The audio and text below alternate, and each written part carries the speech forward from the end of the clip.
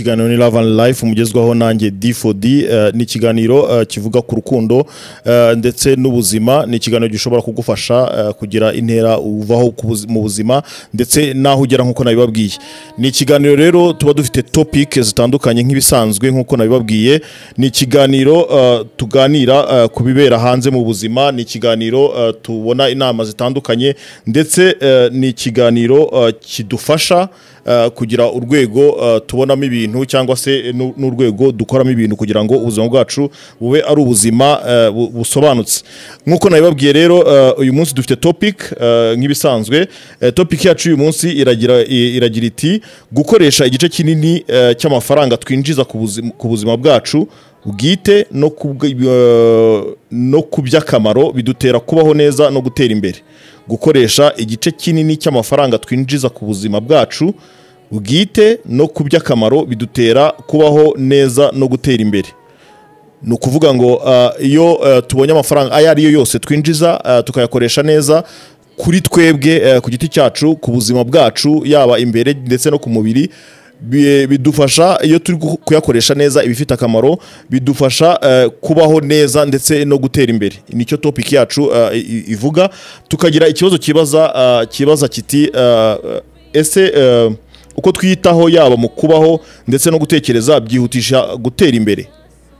Uko uh, twiyitaho yaba mu kubaho ndetse no gutekereza byihutisha gutera imbere. Icyo ni cyo kibazo turi buganireho iyo niyo topic turi buvugeho uyu munsi. Buri topic iba ifite ikibazo cyayo ariko kandi eh, tugenda tuganira ku ngingo zitandukanye dukurikije ibiba muri sosiyete eh, nuko uh, abajene bari kwitwara muri iki gihe ndetse n'abantu bakuru ukuntu bari kubaho umunsi ku munsi. Rero uh, iyi topic uh, ngiye kubabwira nk'ibiri kuba muri sosiyete cyangwa se ibiri hanze aha ngaha ni benshi baba baratwandikiye ni byinshi tuba twaraganiriye n'abantu ni byinshi tuba twaragiye eh, dushaka kumenya eh, mbese n'iki gituma urubyiruko rw'uyu munsi ubona nta gahunda rufite cyangwa se n'iki gituma abantu bari kugera mu ngo ugasanga bavamo birukanka n'iki gituma se usanga umuntu ubuzima bwe budatera imbere. Mu by'ukuri eh, iyi topic irashingira cyane ku bajene ariko hatari buburemo n'abantu bakuru kubera ko topic yacu y'uyu munsi irareba cyane uburyo bwo gukoresha amafaranga n'icyo amafaranga akwiye kuba atumarira.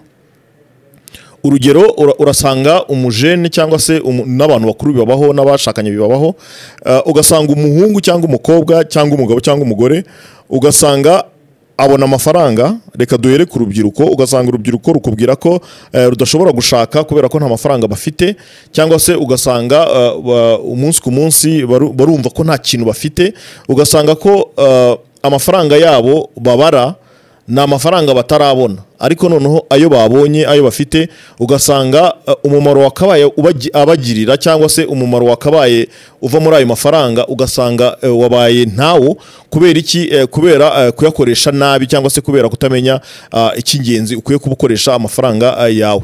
Ikiganiro rero love and life twaje kugira ngo duhuze ubuzima ndetse n'urukundo kandi ntabwo ushobora kugira ubuzima buzima udashobora gukoresha neza ibyo ufite. Ni ukuvuga ngo uh, dufashe nko ku rubyiruko urasanga umuntu avuga ko nta mafaranga afite wenda ni umujene ari hagati y'imyaka cumi n'umunani kugera kuri makumyabiri n'itanu ugasanga ahora avuga ko nta mafaranga afite ariko ahora mu kabari. Amafaranga yo kugura byeri arayabona imwe ebyiri eshatu eh, ugasanga mbese ari no kunywa ibyo adakeneye. Ni ukuvuga ngo ugasanga ashobora kuba yakwambara urukweto rwamuboreyeho cyangwa se rwamucikiyeho cyangwa se yakwambara ipantaro yatiye cyangwa se ugasanga ya- yakwambara ibintu navuga ngo mm, bidasa neza ariko yanyweye icupa. Ni ukuvuga ngo icyo gihe amafaranga yawe ntabwo aba ari gukora eh, ikijyanye nawe kubaho neza. Kubera ko amafaranga yawe tuvuge nimba winjiza ibihumbi ijana amafaranga yawe menshi. Yagakwiye kuba ajya ku kintu kizamura ubuzima bwawe ikintu cyawe bwite gi- gituma utera imbere ndetse n'ikintu kizagufasha eh, kugera ku ntego eh, nawe wi- wiha umunsi ku munsi. Ni ukuvuga ngo nimba tuvuge ubonye amafaranga ikintu cya mbere utekereje ari ukunywa byeri no gutwika ntabwo icyo gihe utekereje ubuzima bwawe kubera ko uratekereza ahubwo ubuzima nubwo uba utabizi uba utekereza ubuzima bwa nyirakabari. Kubera ko amafaranga yawe yakabaye ahera kuba nimba ubona ufite urukweto ruhengamye uvuga uti uru rukweto ejo nirunshikiraho nzambara iki? Ugahera mu kwigurira agakweto.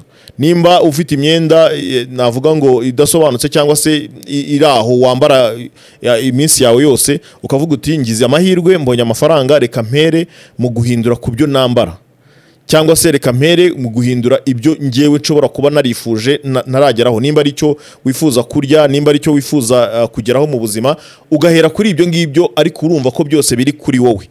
Nimba ufite uh, ikintu watekerezaga ko wifuza mu buzima ukavuga uti reka aya mafaranga mbonye mbere y'uko ntekereza kuyaha undi muntu ngo ampe ikintu kita- kitari bunafashe ubuzima bwanjye. Kubera ko uh, kunywa inzoga urazinywa nyine ukumva nyine wa, eh, izo swingi wazumvishe ariko noneho iyo utashye kwa kundi umutwe uba uri kukurya wicuza impamvu wazinyweye bigatuma buri munsi uhora ufite eh, ukuntu uregereta amafaranga wanywereye ariko kandi iyo uza kuba wenda eh, warahereye ukareba nimba uri umujene wiba- wi- wibana cyangwa se uba iwanyu ukareba ukavuga uti mu rugo wenda nibo bamfasha ibintu byose bangurira isabune bampa amazi yo koga bampa buri kintu noneho wowe wajya gutekereza igihe uboneye amafaranga ugatekereza uburyo nawe wagura iyo sabune kugira ngo uyihe abandi nabo bakarabe cyangwa se uyihe iwanyu nabo ubafashe. Nimba cyangwa se eh, ari amazi yishyurwa ukavuga uti wenda ku mazi nimba ari ibihumbi makumyabiri nishyuyeho ibyo bibiri. Ni ukuvuga ngo niko utangira kugira resiponsabirite niko utangira kumva uri responsable w'ibyo ubamo. Ni ukuvuga ngo ubwo buzima butuma ya mafaranga utekereza kuba wajyana ahandi ubanza gukora iby'ibanze nawe ukeneye. Rero hari abajene usanga eh, muri iki gihe eh, ugasanga ubuzima bwe bwose wenda atekereza amafaranga ariko n'aho ayaboneye ugasanga ikintu cya mbere ni ukujya ahantu hagezweho hahiye eh, ni ukunywa inzoga. Simvuze ko gusohoka atari byiza cyangwa se simvuze ko gusohoka abajene bata- ba- batabikora ariko noneho hari abo usanga asohoka ari na yo mafaranga yari afite. Ugasanga nimba umuhaye ibihumbi bitanu mbere y'uko abaramo ko yaguramo eh, iyo sabune mbere y'uko yabaramo ko yagura icyo kiro cy'u- cy'umuceri yaguriye iwabo cyangwa se nubwo yaba yibana akakigura akakibika usanga abanza gutekereza eh, ko eh, ayo mafaranga ari itike imwinjiza mu kabari ko wenda ari bugure amacupa abiri ayandi akayavumba cyangwa se bakayamuha. Ni ukuvuga ngo ubwo ubutekereje macuri icya kabiri hari ukubaho eh, hari abajene muri iki gihe hari ibintu biri gu- gutera cyangwa se byakuze usanga umuntu eh, eh, nta bintu byo agira ni ukuvuga ngo n'imyenda bambara abenshi usanga ariyo bakodesha. Kera wasanga ari ugutira ugasanga abantu barambara ikintu kimwe batizatizanya ibyo biza kuvaho noneho usanga abantu kubera gushaka kwishyira mu rwego runaka uri umujene ugasanga amafaranga ubonye ukodeshejemo imyenda mbese ngo uri ku cyangwe ukajya aho abandi bari kugira ngo nawe ugaragare neza. Cyangwa se ugasanga amafaranga yawe nimba hari, ibindi abandi bajyamo nakwita ngo b- byo gutwika ugasanga wowe ntubanje kubara ubuzima bwawe cyangwa se ngo urebe eh, urava he ugeze he ubayeho ute iwanyu mubayeho mute nawe urashaka kuba kuri iyo level yo guspendinga amafaranga. Ugasanga rero niba byari ibihumbi makumyabiri aho wakabaye uguramo wenda urwo rukweto cyangwa n'iyo shati cyangwa n'iyo pantaro ugasanga bikubereye igihe cyiza cyawe cyo kuba eh, mbese uh, uh, uyasipendinga hanyuma wowe ugasigarana icyo bita kuregereta gusa.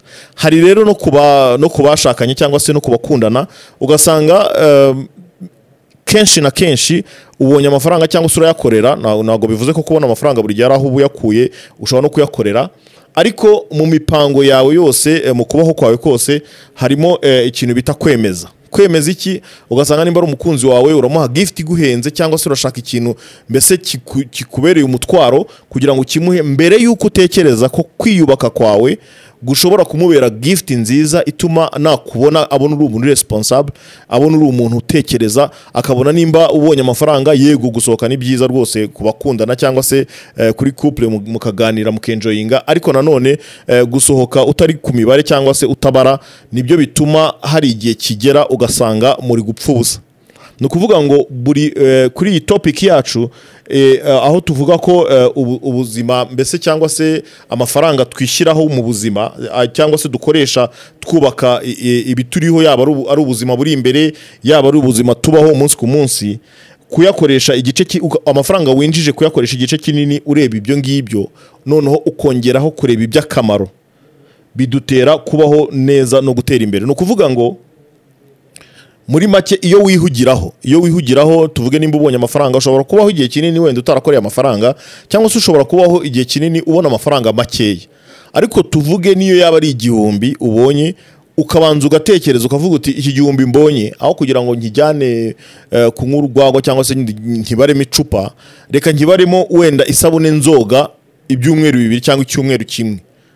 Iyo utekereza gutyo usanga kenshi na kenshi bya bintu nkenerwa biri imbere yawe cyangwa se biri mu gihe cyawe kiri imbere usanga ugenda ubyibikaho noneho ugasanga wize n'ikindi kintu cyitwa gusevinga kubera ko kumenyera kugura ibintu byawe cyangwa se kumenyera kwiyitaho yaba ku mubiri cyangwa eh, navuga ngo ni nko kwi- kwishoramo kwi- kwiyinvestisaho kwiyinvestisaho amafaranga ni ukuvuga ngo bituma wowe ubuzima bwawe butera imbere ariko bukanatuma nawe ubwawe ibyo wari kuzifuza ku bandi cyangwa se bimwe uririra ku bandi ushobora kubigeraho.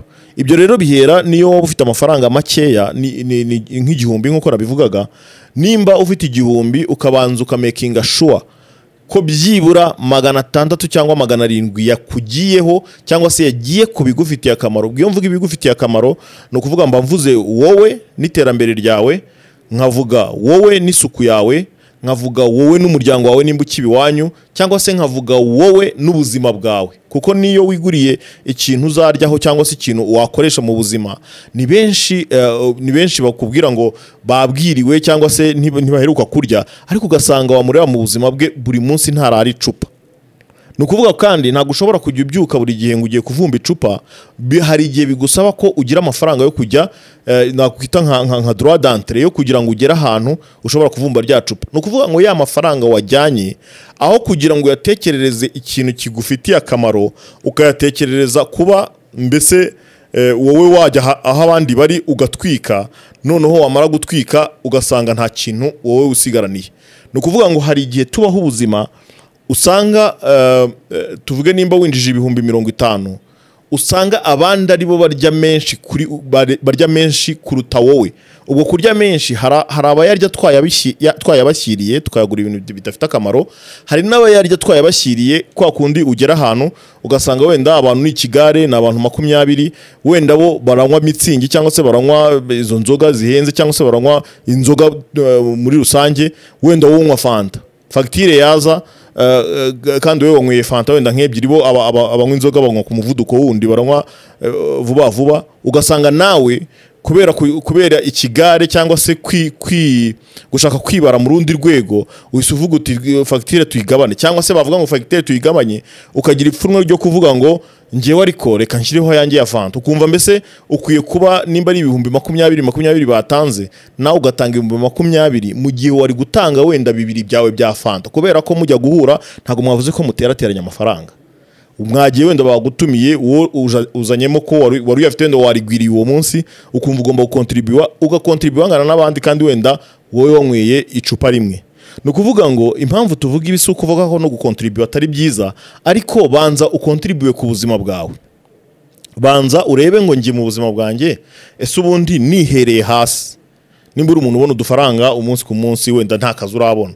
Uhereye hasi isogisi ryawe wambara ni rizima. Inkweto yawe wambara ni nzima. Ipantaro ufite ni nzima. Ntabwo ariyo ucungiraho ntabwo uyanika ukayanura kugira ngo ujye ahandi. Ese ishati wambara ni nzima? Ese urogoshe cyangwa se umeze neza ufite isuku? Ese urumva? Ni ukuvuga ngo bya bindi ya basic y'ubuzima abantu bakenera ukwiye kuba uyubakira ku mafaranga ufite yaba make yaba menshi. Niko rero ujya gusanga ugasanga no mu mikurire yawe nimba ugize amahirwe yo kubona amafaranga menshi kubera ko wa- wamenyereye ko igice kinini kijya kuri wowe n'ibyawe bigufitiye akamaro usanga akenshi niyo washinga urugo wireba ukareba n'urugo rwawe. Kuko ruba ari urwawe ukarwemvesitamo amafaranga kuruta uko wayafata ukayemvesisa mu bantu b'ikigare muri busangire ejo mu gitondo wagira ikibazo wakora kuri umwe ati wapi wapi wakora ku wundi ati wapi wapi. Ni ukuvuga ngo dukwiye kuba dutangira kubaka ubuzima bwacu duhereye ku giceri kimwe twabonye kugira ngo tuzabashe no kubona byinshi tubyubakireho. Ku kibazo cyacu rero eh, uko twitaho yaba ku kubaho ndetse no gutekereza byihutisha gutera imbere. Ni ukuvuga ngo ibyo utekereza cyangwa se ibyo ubona wumva mu buzima uhora wifuza kugeraho. Cyangwa se ibyo wowe ukora mu gihe ubonye opportunity. Bituma wowe ushobora kwisobanukirwa nimba uri mu batera imbere cyangwa se nimba uri mu basigaye. Ni ukuvuga ngo nimba ugifata eh, amafaranga yawe agapfa ubusa cyangwa se ukanywa birenze urugero ni ukuvuga ngo uracyari muri ba bandi basigaye. Ariko nimba ushobora kwikontorora ukavuga uti ok ngewe nubwo mfite amafaranga aya nayakozemo ibi ngibi nakoze ibi ngibi no mu byo nari nkeneye wenda nakoze eh, mirongo inani ku ijana noneho wenda reka nihembemo agacupa ukanywa nabwo kamwe cyangwa se tubiri hanyuma ukongera ugakomeza imishinga. Ibyo ngibyo bizatuma eh, utera imbere kuko gutera imbere bihera ku byo wowe ushobora kwikorera. Ntabwo bihera ku byo abandi bagukorera bihera ku byo wowe ushobora kwikorera. Umurongo wacu rero urafunguye eh, zeru karindwi umunani umunani makumyabiri mirongo itatu na kane mirongo icyenda na gatatu muraduhamagara hanyuma mutubwire uko mwumva topic cyangwa se uko mwumva ubuzima bumeze ndetse munatubwire uko mubibona hanze munatwungura ibindi bitekerezo nimba koko eh, mubona koko ibyo bintu ari ikibazo cyugarije urubyiruko ndetse eh, n'abantu muri rusange tubiganireho turebe umwanzuro tuza kubifatira ndetse n'inama. Dufite umuntu kuri telefone? Isi wefe malo Alo, wi mwiriwe? Halo oui, mwiriwe neza? Yewe, Mm, mwitwa bande muherereye he? Ah, banyita Fiona de Karongi yego kuri icyo kibazo nyine cyo kutikontorora ku, biceri waba ukorera yego kuvuga ati wenda ugiye kwihemba umwaka gacupa cyangwa se kubona abandi bagiye gutanga fagitire irenze kurusha ubu- ubushobozi bwawe ngo nawe uhite wizamura Mm, Ah, ndumva ngewe ibyo bintu atari byo pe ntabwo ari byo rwose ntabwo ari byo pe. Mm, nta kuntu waguseka mu gihe. Ubundi icyo ufite n'ikitanga? Yego. Buriya umuntu iyo agiye gusohoka wenda aba agiye yayapanze yego. Ubu ugenda uvuga ati aya ngaya niyo ndarira ubundi ntacyo Mm. ushobora kugerayo. Alo? muri ya yandi Mhm. wasevinze yego. Noneho urakoresha ya yandi n'ubundi wagiye wapanze ugenda aba ariyo n'ubundi musangira umwereka ubugabo bwawe ko ari ubwo. Yego. Ah, ndumva nyine ah, buri wese yaba umukobwa yaba umuhungu cyane ko abakobwa bo rwose iyo udafite imbwa Mm, nyine aragusebya biri aho ariko cyane cyane umuhungu ajya amenya gusezinga amafaranga ye abakobwa b'iki gihe bari hanze hano bari kurya amafaranga nabi. Eh, n'ab- n'abakobwa bagomba gusevinga ariko se uravuga iki ku bantu usanga ugasanga nk'umwenda yambara n'umwe uko muzi ni umwenda umwe yambara ariko mu kabari ugasanga ni umushayininga ni we buri gihe uba wakontribuye ni we buri gihe utanga amafaranga. Urabavugaho iki? Ah, ndumva ahanini. Mm, abo bantu batireba ku myenda abenshi cyane mm, benshi. Bamwe usanga batambara bamwe bakodesha utwenda mm, nibo banywa cyane rero iki yego. Noneho hari umuntu muri karitsiye nzi Mm, afite bizinesi yo gucuruza imyenda. Yego. Noneho uragenda ukamukodesha umwenda umunsi wose Mm, ukamwishyura bitatu byakaguze imyenda ingana. Noneho kugira ngo utwike ukabyambara ukagenda ukubonye ati uriya mwana rwose nyina arahagaze ameze neza. uri butahe utere ipasi imyenda y'abandi bisize Mm, bya bitatu wakabiguze imyenda. Yego. Ntabwo kuvuga ati kujya mu isoko ngo ni ukujya mu masoko arenze arenze. Arenze si iki? Mm, umwenda ugomba kujyana n'ubushobozi bwawe. Ukawutera ipasi ndakubwiye ngo bagira ngo ni umwenda ufite amafaranga. Uriya nta mwenda njya nambara urenze bitanu bitandatu kuri rero inama nabagira ni ukwisubiraho cyane cyane abakobwa abahungu. Mhm, ariko urugero rw'ahanini cyane ni abahungu kuko abahungu buriya ntabwo bazi kumenya ati nambaye ntya baravuga ati "He, n'ubundi ndi umuhungu nta muntu yego. Ariko umukobwa agenda afite isoni. Mm, yego. Abahungu rwose nibaca akenge kimwe n'abakobwa natwe niduca akenge ni ukudusabira niko bimeze rwose. Wajya tubwiye ko witwa nde ese nta muntu wabagisha inama buriya. Nta kibazo rwose. Urashaka kuyitugisha oneya cyangwa se urashaka kuyitugisha mu gikari? Ndashaka kuyibagisha gutya nyine ku buryo n'undi wahamagara wamubaza. Nta kibazo. Nyine hari um- hari umuhungu mfite dukundana yego. Noneho uwo muhungu nyine mba mbona nyine ankunda nyine mba mbona ankunda Mm. ariko ahandi ku ruhande ati ntabwo agukunda nyine aba ari kugira ngo nakumve Mm. mbese ibintu nk'ibyo ariko ngiye ku rundi ruhande nkabona nkunda nkabona mu mwanya uhagije ariko abandi ku ruhande bakaba ibyabo Mm. ariko nanjye nasubiza ubwenge inyuma Mm. nkabona ni byo Mm.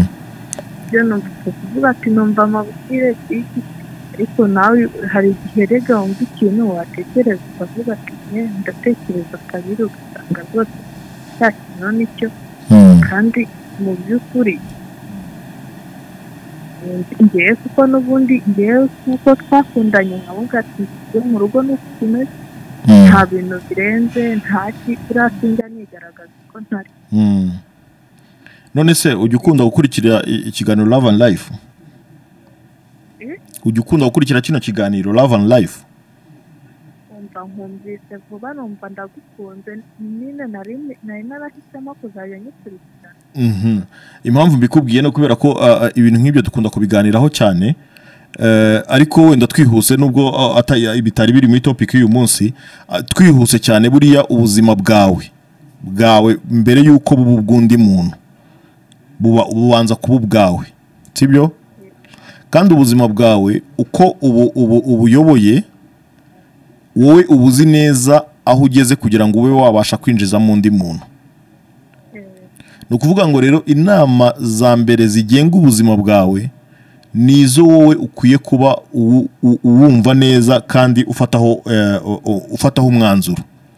Ubwo bishatse kuvuga iki? Bishatse kuvuga ngo abandi hanze yawe baguha ibitekerezo ariko wowe mbere y'uko ibyo bitekerezo ubikoresha cyangwa se mbere y'uko wowe ibyo bitekerezo bikugirira akamaro ukwiye kuba ufite umurongo w'ubuzima ugenderamo sibyo?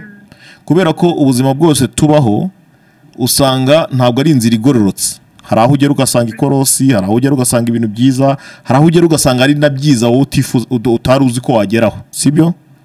Ariko ibyo byose kubigeraho ni uko uguma mu nzira yawe. Ugomba kuba uzi uko watangiye uzi n'uko uhagaze. Hanyuma uwo winjijemo ugomba kuba uzi impamvu wamwinjijemo. Ikindi cya kabiri eh, umuntu wawe iyo mumukubwiyeho ibintu bitagenda ni bwo ugomba gushyiramo imbaraga kugira ngo nusanga ari byo umufashe kubihindura. Naho ubundi eh, nta na rimwe eh, mu buzima tubaho ku isi nta na rimwe uzabona abantu bose muziranye muri kureba ibintu mu cyerekezo kimwe. Ibyo rero ni byo bita ubuzima. Ubuzima ni ukuvuga ngo ni inzira urimo uzahuramo n'ibi- n'ibi- n'ibibazo byinshi ndetse na- na- n'abitwa ngo bari iruhande rwawe rimwe na rimwe ukabona bakubereye challenge. Ntakwiciye mu ijambo rero. Mm, kubishyiramo imbaraga nta kuntu ntagerageza. Mm, ariko njye mba mbona nta kibazo. Mm. mbona nta kintu nanamufatira kuko mba mbona byose byujuje nimba nimba wowe ubibona gutyo eh, ni byiza ariko kandi nimba mukundana. Wambwiye ngo uramukunda kandi nawe ubona gukunda ni byiza ko iyo abantu bakundana baganira. Kandi kuganira ntabwo uh, uganira usiga ibintu inyuma kuko iyo usize ibintu inyuma ni byo bigutega mu gihe kiri imbere. Ni ukuvuga ngo kuganira mugomba kuganira ku bintu byose. Ibyo ukeka ibyo utekereza hanyuma kugira ngo mubyunguraneho ibitekerezo. Halo? Urakoze urakoze cyane. Ujye ukurikira ikiganiro love and life. Hari n'ibindi byinshi rwose tuganira byagufasha nk'umu- nk'umukobwa byanafasha n'uwo muhungu ujye umubwira akurikire kandi eh, nzi neza ko eh, uko tugenda tuganira bizagenda bi- biba neza. Yego nawe urakoze cyane. Natwe ni uko murakoze cyane.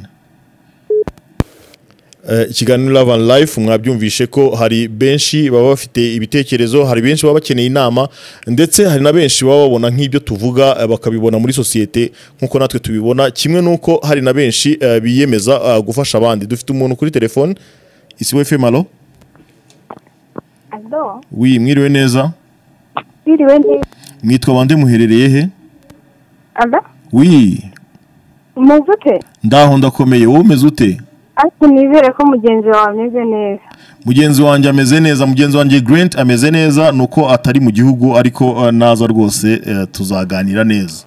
Narengeje ngo amagara yamugarambitse oya ameze neza rwose hari ahantu yagiye kugira ngo turebe ko uh, nabo ya- yabaganiriza tumenye. mvuga ngo Mm. ese mu rwanda hari umuntu utumva isibo? Simbizi simbizi. Nkeka ko ntawe ubaho.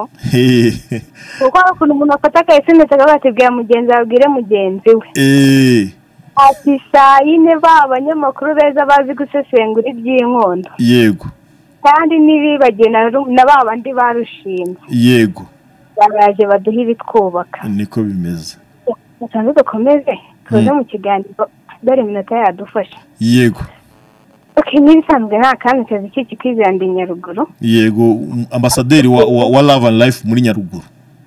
Eh, ubundi igihe n'igihe umukobwa hari wahamagaye ku isibo bwa mbere. Natwe ni nonge waje ku isibo bwa mbere kuko yashinzwe mbizi bwa mbere na mbere abanyamakuru bajemo. Wowe urasobanutse. Babaye. Mm, ariko ngewe ngukeneye no mu gikari hari akantu ushaka ko tuganiraho. Yego. Sinzi uburyo nzakubona. Ndaza kuguha ndaza kuguha ahantu ushobora ku, ku, kunyandikira cyangwa se ushobora kumbwira noneho nkazaguhamagara tukavugana neza. Ok nariwe. Mm, hanyuma rero uko ndi kubifata mbifata mu buryo butatu butandukanye. Yego. Hari ukuba ndi kwigira uwo nariwe. Yego. Ndashaka kuba umuntu urenze. Mm, hano byo ndi kubisobanuramo reka mbere ku bakobwa yego. Mu cyaro iwacu ni kuri nyungwe. Yego. Nshaka kuzabaho nk'umwana wo mu mujyi. Yego. Umwana wo mu mujyi yakuze abona iwabo hari abakozi bagomba kumufurira bakamukorera n'ibindi byose. Yego. Agakura abona amata ari aho ngaho. Yego. Ariko igihe kwizera nzanywa ya mata ari uko mvuye mu ishyamba kwahira ubwatsi no guca icyarire inka ziraraho. Yego. Nzabona wa mwenda wa mwana agurirwa i kigali Mm. ari uko nikora ifumbire cyangwa nkajya gutora inkwi nkazigurisha yego. Cyangwa nkahira icyo cyarire. Yego. Ariko kwa gushaka kwigira icyo nari cyo cyangwa uwo nariwe. Mm, nzashaka ibirenze mm, nindangiza njye no muri za ngeso zitandukanye. Yego. Hano hanze hari ibintu abakobwa turi kwijyanamo ibi ngibi ngiye kubivuga ko hari umusista ni na kabyara kanjye tu ko muri karitsiye. Yego. Ni umwana uri munsi y'imyaka cumi n'umunani. Yego. Ariko akaba ari kubana n'umuntu w'imyaka mirongo itandatu. Kandi Mm, ntabwo ubwo ni urukundo. Ni kashi aba amushakaho ni kashi izo ngizo. Hari igihe twicara tukavuga ngo ese kwizera nimba mu rugo twebwe twaguze tunirira bayidawe Mm, ni ibintu biba bisanzwe. Yego. Nimba nabasha kwikorera ibasi ya avoka Mm, ngo wa muntu twiganye pirimeri mu wa gatandatu arangije kaminuza yiwe ngo nambona nzavuga hirya mm, nibura na wa muhungu mwiza tuzi ko arangije kaminuza wo muri karitsiye akambona nikoreye ibasi ya avoka aracishamo ijisho. Yego. Ariko kugira ngo bata- ku bundi buryo butari bwiza. Mm, mbonemo ya mafaranga ngende nambara ya kanzu ya zeni yego. Nambara urukweto rwa mirongo itanu isaha telefone nziza ihenze. Mm, kandi nyamara ibyo bintu sishoboye kubikorera. Mm, hari igihe kiba kizagera bikakugora nitwicare twebwe ubwacu. Mm, cyane cyane ku bakobwa n'abahungu ndaza kubagarukaho. Ariko abakobwa ntituze tube abo turibo. Oya ni byo. Nifate umuryango wanjye wanyishyuriye ishuri ngo nige kaminuza Mm, bendera tukajya ibijumba ari uko bavuye guca inshuro bakura amafaranga magana arindwi. Mm, bakajya kuguramo ibijumba twajyaho amahirwe tukabona n'igishu yego. ntidukeneye n'amamesa Mm, turi buze kurarira ariko namara kurangiza ya segonderi nyijyana mu ngeso mbi kugira ngo mbeho neza rimwe na rimwe nkanihakana umuryango wanjye. Aho tuba tugize ibyo tutari byo. Nidukure amaboko mu mifuka nimba ari ibasi nikoreye ibasi yavuga bati kwizera cyangwa ngo umuntu arunzi nk'umwamikazi cyuki ngo yikorera ngo situpfa kuba ijana ryanjye ntabyinjije ibijumba nibuze kubigura naje kubigusaba. Yego ibyo ni byo rwose. Hanyuma ku basore rero nabo. Mm, abasore nibabe abo bari bubere kuba bo batari bo. Niko bimeze. Hari ukuntu umusore akubwira ngo uyu munsi ndaza kugusohokana. Mm, akakujyana ahantu hahenze. Yego. Akorera ibihumbi mirongo itanu umusohokano nk'ibihumbi ijana. Yego. Dayidayi fata uwo mukobwa nimba umukunda umugurire mu karu y'ijana Mm, n'amandazi abiri. Cyangwa igikombe cy'amata n'amandazi abiri. Yego. Nubwo uriya mukobwa ni umusirimu akaba agukunda najye kunywera aho ngaho. Mm, mureke agende n'ubundi ntabwo yari ari mu buzima we wibaho ko utareshya butagiye Mm. Urak- urako- ikindi natwe abakobwa ntabwo turi kugira inama abahungu dukundana. Yego. Ese nimba ndi umukobwa nkabwira sheri ngo nanguriye kotegisi Mm. amafaranga yo kugura wenda na ka kenda kandi? Mm. buri kimwe cyose mwumva ko ari umuhungu uzakima Mm. ese uwo muhungu urumva icyerekezo afite? Kizaba ari ikihe kandi umuhungu ugukunda ntabwo azavuga ngo ibi ngibi sinibuze kubiguha. Yego. Kuko bivuge ko hano hanze hari ibya shuga dadi hari abasaza. Yego. Bari kureba ifungu Mm. icyo na cyo ku basore bafiteho ikibazo. Cy'uko bagiye kohereza abakobwa ibirenze ubushobozi bwabo. Yego. Kugira ngo ba basaza bataza kudutwara. Yego. Rero rero uruhande rumwe ndi ku bakobwa Mm. ariko cyane cyane tubanze tuba abo turibo niko bimeze. Nyine kundaraze ko marike nyine ahantu nakubona. Ndaza kuziguha rwose ukomeze ukurikira ikiganiro. Arakoze umwamikazi w'ikibe uh, wa nyaruguru uh, uyu ni umukunzi wacu ibiganiro byacu byose ababikurikiye turabizi neza kandi tunamushimira ko buri gihe aduha ibitekerezo bizima ndetse ahwitura aba, abagenzi be ndetse n'aba- n'abahungu muri rusange. Dufite umuntu kuri telefone isibo hello. muraho neza. Mwagabanyije radiyo yanyu cyangwa mukigirayo? Ni niyo nkuru Shadaraki Burundi. eh shadaraki umeze neza? Abashinga nahe muradukurikiye? Turakiye neza cyane gatanu kuri gatanu. eh nta gukuraho urushinge. Mumeze mute? turaho turashima imana.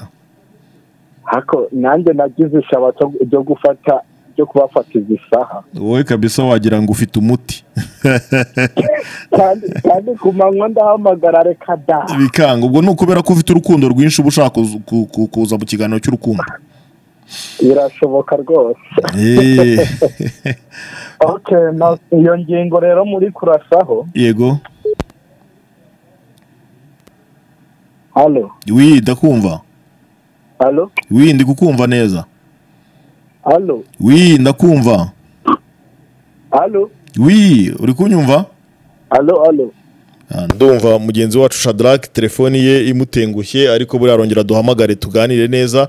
Eh, turi kuganira kuri topic ivuga igira iti gukoresha igice kinini cy'amafaranga twinjiza ku buzima bwacu bwite no ku by'akamaro bidutera kubaho neza no gutera imbere. Hanyuma eh, tukagira ikibazo twibaza uko twiyitaho yaba mu kubaho ndetse no mu gutekereza byihutisha gutera imbere.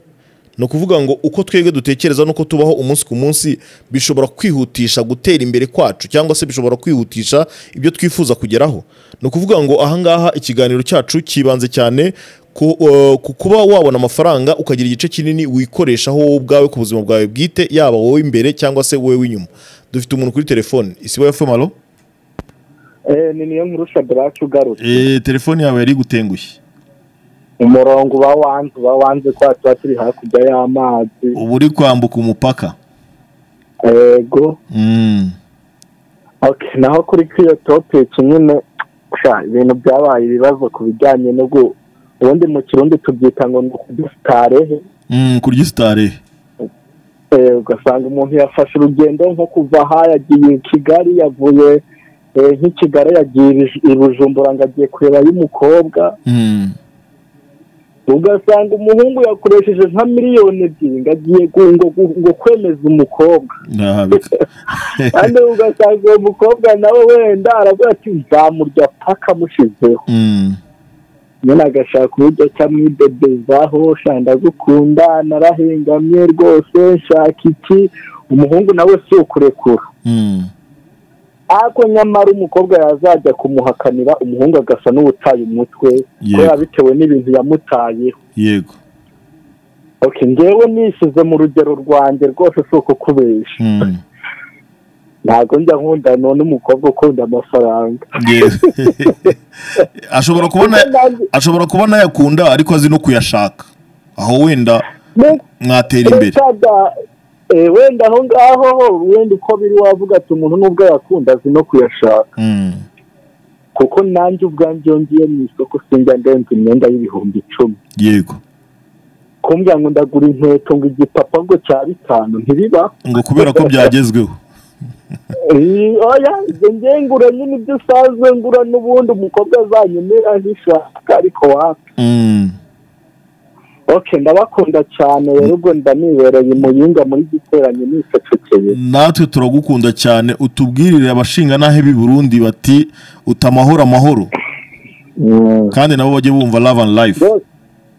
Mm, nanjye urushinge sinjya nyeganyeza mba nahamije nta gukuraho ahubwo nugera n'i kigali uzaze tukwakire mu kiganiro oya humura rwose nzajya tuzaba turi kumwe nanjye niko bimeze nkaba sawa nubwo naba ntafite amayinite mba mbakurikiye gatanu kuri gatanu rwose. Urakoze cyane rwose wowe uri- ambasaderi wa love and life mu burundi bwose. Sawa mugire ijoro ryiza. Yego namwe. Uyu yari umuvandimwe wacu shadrack wo mu gihugu cy'u Burundi. Uyu nguyu nawe rero akurikira love and life umunsi ku munsi. Ntabwo ajya acikwa kandi topic zose aba yazikurikiye. Turamushimiye cyane kandi dushimira n'abantu bose badukurikiye bari mu gihugu cy'u Burundi ubugande congo ndetse na tanzania. Kuko tuzi ko uh, isibo ushobora kuyumva kuri app ya isibo. Aho ushobora kuyumva rwose aho uri ku isi hose ndetse no kuri uh, website yacu ushobora kutwumva ukadukurikira gatanu kuri gatanu. Topic yacu rero uh, turi kuvuga ku gukoresha igice kinini cy'amafaranga twinjiza ku buzima bwacu bwite no ku by'akamaro bidutera kubaho neza no gutera imbere. Aha turi kuganira kuba abajene b'iki gihe usanga amafaranga no kwambara ni ikibazo ariko kunywa cyabaye ari wo mushinga. Umuntu kuri telefone isi FM alo yes mwiriwe neza? mwiriwe neza. Mwitwa bande muherereye he? Muhima. Alo nitwa derine iri ku muhima. Adeline umeze neza? Imeze neza. Mm, ndumva ufite n'akanyamuneza. Cyane. Adeline waje kubona wa mukunzi washakaga? Eee ariko uribuka abakunzi bacu tuba tubazi. Yara iyi mukunzi ntabwo ndamubona ndacyari singo Mhm. Mm. ntabwo urabona agenda umuntu agenda kwegera wapi nyine ni bandi baba bambeshya Mm. Iyi, nta kundi nabigenza abo ngabo babe bare- babe baretse turimo turashaka uri siriyasi tuzicara tukamera neza. Mm. Ikiganiro wagikurikiye ushobora mu kanya umuriro wacu wari ushize Ni ukuvuga ngo- ntabwo wakurikiye ikiganiro? Nyine mfunguye mu kanya nari ndi kucyumva mbere ndi no guteka none mfunguye mu kanya umuriro wari ya. ariko topic wayumvishe iyi topike nari ndi kuyumva nonaha. Mm, watubwira iki rero kuri iyi topic turi kuganiraho? Eh, umuriro uje uri usoje kuyivugaho. Mm, topic turi kuganiraho turi kuvuga ngo gukoresha igice kinini cy'amafaranga twinjiza ku buzima bwacu bwite no ku by'akamaro Mm. bidutera kubaho neza no gutera imbere. Hanyuma tukibaza ikibazo uko twiyitaho yaba mu kubaho ndetse no mu gutekereza byihutisha gutera imbere? Ni ukuvuga ngo abo basore bose ubona baguca imbere ushobora gusanga yambara ipantaro imwe kuva umunsi wa mbere w'ukwezi kugera ku mwisho w'ukwezi ariko anywa amacupa atari munsi y'atatu ya byeri buri munsi. Ni ukuvuga ngo aho kugira ngo akoreshe amafaranga ye yiyitaho yaba agura izo nkweto yaba agura iyo myenda yaba yubaka ubuzima bw'ejo hazaza yaba sevinga ugasanga ara- arakorera nyirakabari. Abo bantu ndetse n'abandi batekereza muri ubwo buryo ubwo twifashishije akabari ariko hari n'ibindi byinshi bitwara amafaranga kandi byagakwiye kuba bidufasha kuva ku rwego rumwe tujya ku rundi. Kuva ku rwego rumwe harimo no kuba ufite isuku usa neza uri umuntu ufite ibitekerezo uri n'umuntu ufite intumbero ariko kandi uri wa muntu ushobora kubona amafaranga ukavuga uti wenda mirongo inani ku ijana. Nayakoresheje iby'akamaro wenda makumyabiri ku ijana niyo ya- ya- yaciye mu myanya y'intoki. Urabyumva ute? Ukuntu mbyumva rero nyine wumva ntabwo biba bikwiye kuba nyine umuntu yanywa ayo macupa ugasanga ntiyitaho ntiyitaho. Hmm. njyewe numva byagakwiye ku- ku- kuba bitanariho nta n'ahantu namwe wanabibona.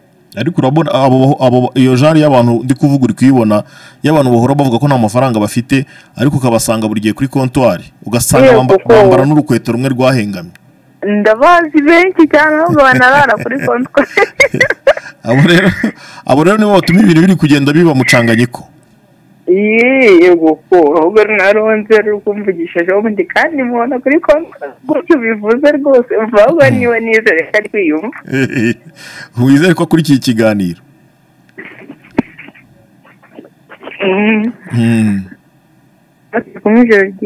ijoro ryiza adeline umugoroba mwiza kandi ibyo wifuza byose uzabigereho yego murakoze cyane mfite ijambo rivuga riti uko tubaho umunsi ku munsi bigira uruhare mu gutera imbere cyangwa mu kubaho nabi kwacu.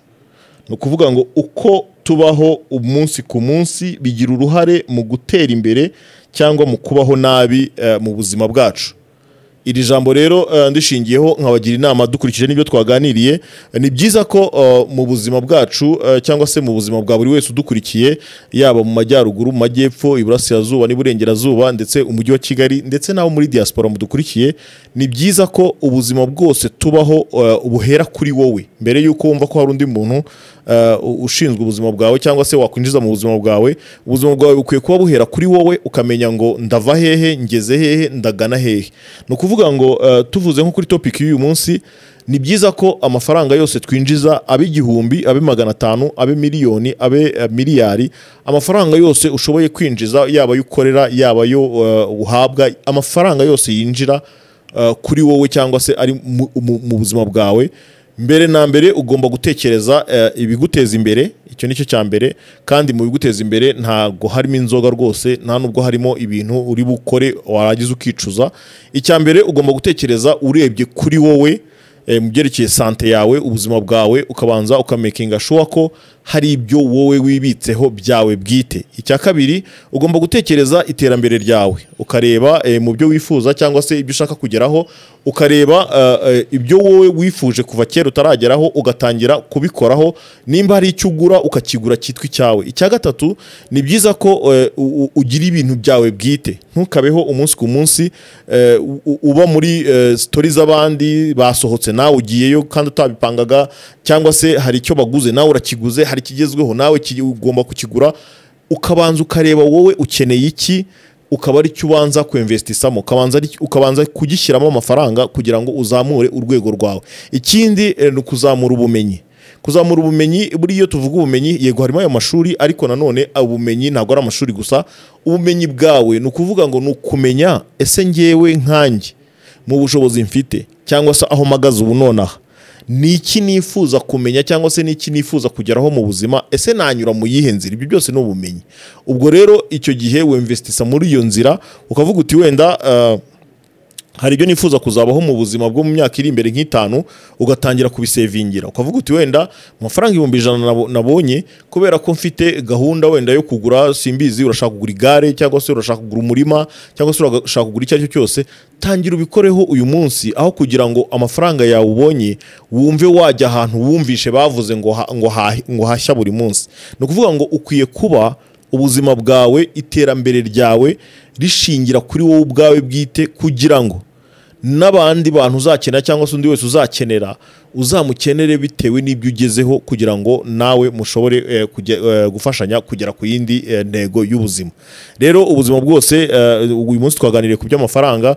Amafaranga buriya ni cyo kintu cya mbere gishobora kuguteza imbere ariko na cyo cyane ikintu cya mbere gishobora kugu- kuguhitana cyangwa se kuguteza inyuma ugasubira n'inyuma y'aho wari uri. Amafaranga akoreshejwe neza yaguteza imbere kandi amafaranga akoreshejwe nabi agusubiza munsi y'aho wari uri. Ni ukuvuga ngo rero twige eh, kwiyitaho twige gukoresha amafaranga igice kinini eh, ku buzima bwacu. Ubuzima bwacu nabuvuze ni iterambere ni wowe ni uko usa ni n'aho uba ni n'ibyo ukoresha. Nimba waryamaga ku gitanda cya metero wenda ugashaka kuryama kuri metero ebyiri ukabikora ari wowe ubyikoreye udategereje ko hari tombora yindi izabaho mu buzima kugira ngo ugire icyo ugeraho.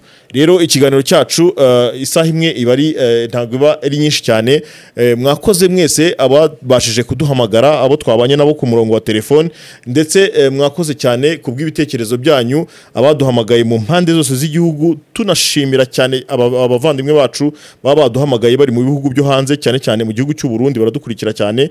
Tubashimiye rero kuba mwabanye nanjye eh, D4D mukabana iyi saha yose ndetse mbabwira ko ikiganiro Love and nakagaruka kuwa gatandatu saa mbiri n'igice eh, kugeza saa yine nta gucikanwa. Urushinge rujye ruba ruri kuri eh, isibo fm mirongo icyenda n'umunani n'ibice birindwi kugira ngo dukomeze kuganira ku rukundo n'ubuzima.